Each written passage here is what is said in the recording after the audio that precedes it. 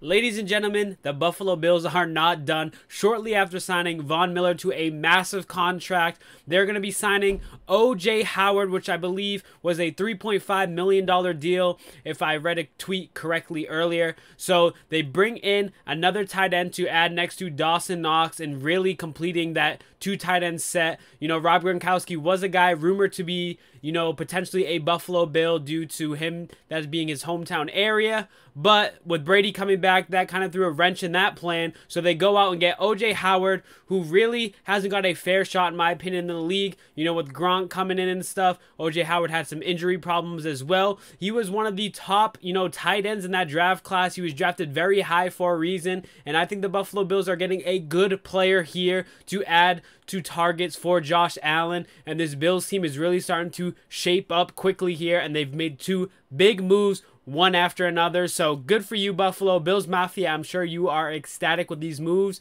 But with that being said, make sure you like the video, subscribe to the channel if you are new for some more breaking news. And we're going to be dropping some videos tonight with all these free agent videos. So I'll catch you guys in a little bit. Peace.